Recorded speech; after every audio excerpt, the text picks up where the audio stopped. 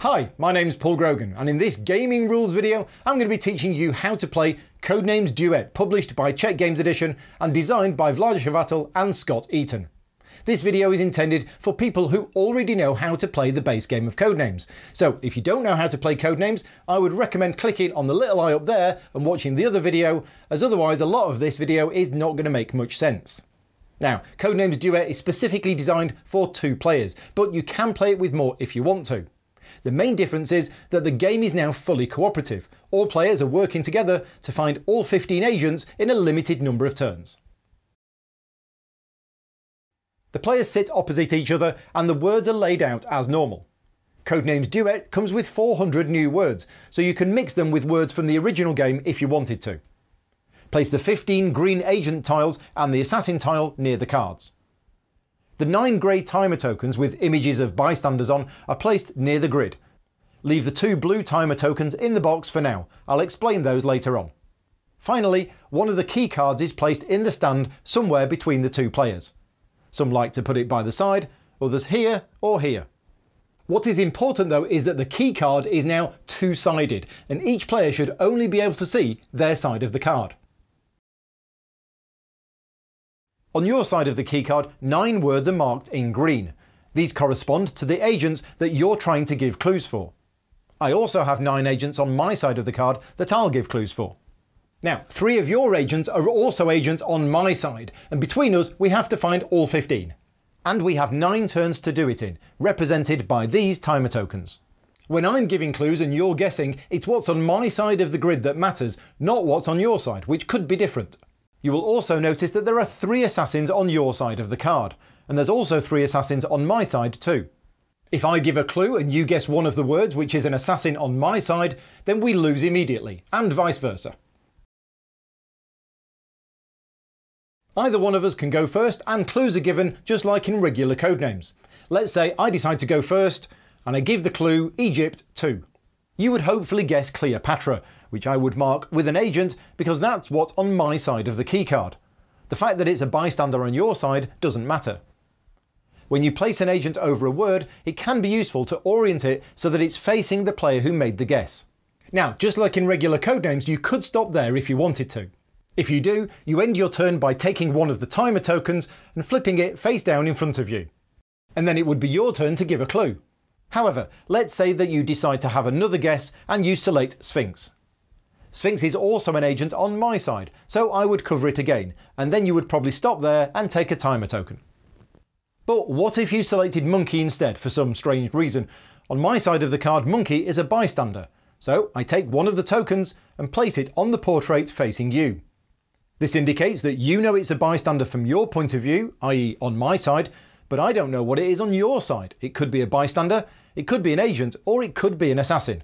And as normal, guessing a bystander ends your turn, so unless you hit an assassin, each turn will use up one timer token. Either it will be placed on a word if you guess a bystander, or it will be placed face down in front of you if you decide to stop guessing. Now, one of the rules changes in Codenames Duet is that you are allowed as many more guesses as you want, no matter what the number said. The plus one rule has been removed and replaced by the fact that you can carry on guessing as long as you get it right. Players take turns giving clues until all 15 agents are found. If at any point someone guesses a word which is an assassin on the other side of the keycard, the game is lost. And when the timer tokens are all gone, the game enters sudden death. No more clues can be given by either side, but now anyone can make as many more guesses as they want, trying to find all the remaining agents using whatever information you have left. If at any point you guess an assassin or a bystander, then you instantly lose the game.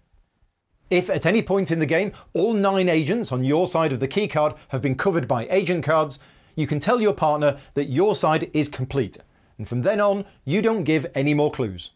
And this is the only piece of information you're allowed to share during the game. You're not allowed to say anything else about your side of the keycard, even when a word gets covered over.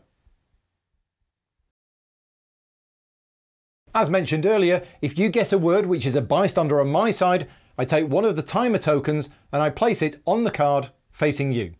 You would never guess this word again because you know that it's a bystander on my side of the card.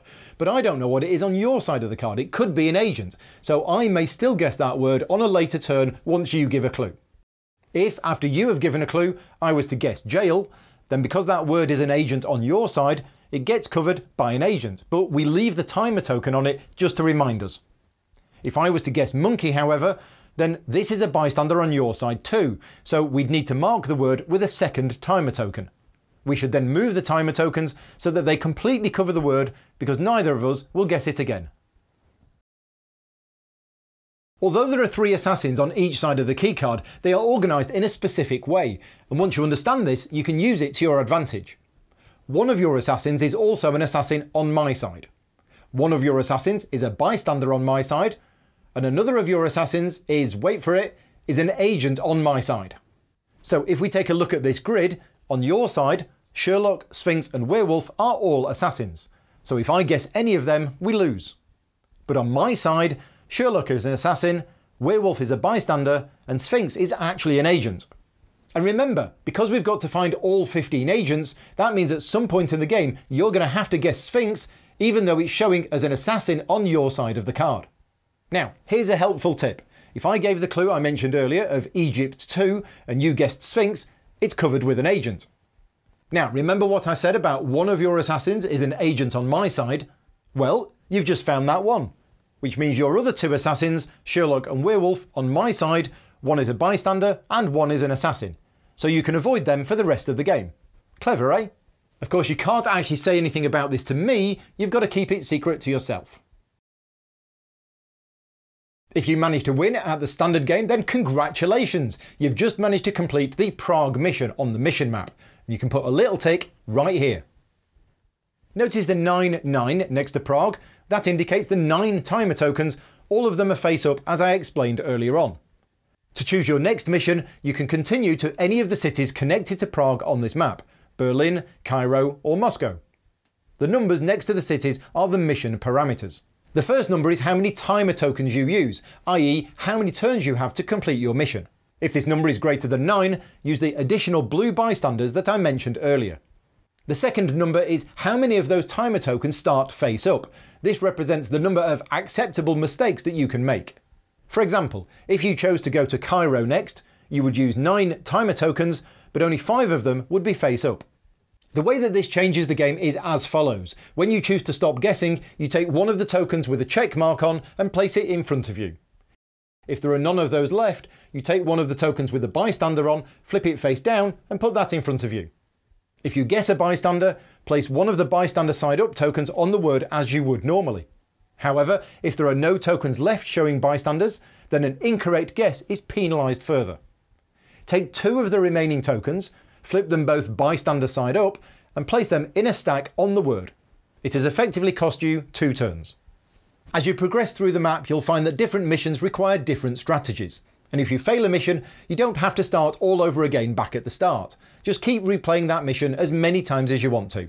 It's your mission map and use it in whatever way is the most fun for you. I hope you found this video useful in learning how to play Codenames Duet. For more of my videos, please subscribe to the channel. And for more great games from CGE, please visit czechgames.com. Until next time, take care and thanks for watching.